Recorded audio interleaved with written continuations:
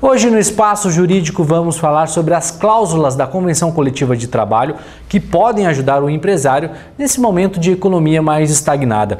Doutor Reinaldo, quais são essas cláusulas? Alexandre, a Convenção 2015-2016, assinada agora no final de 2015, manteve o REPIS, que é o Regime Especial de Piso Salarial, que permite às microempresas e empresas de pequeno porte pagarem salários diferenciados, ou seja, menores em relação às empresas que não se enquadram como ME e EPP.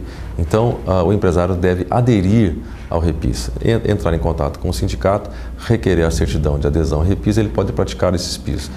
Apenas como exemplo, eu daria aqui, ó, o piso hoje para empregados em geral está 1.204, para ME, empregados em geral, 1.090 e para empresas de pequeno porte, 1.136. Então, são valores significativos que podem auxiliar o empresário nesse momento. Outro que eu destacaria seria a jornada reduzida.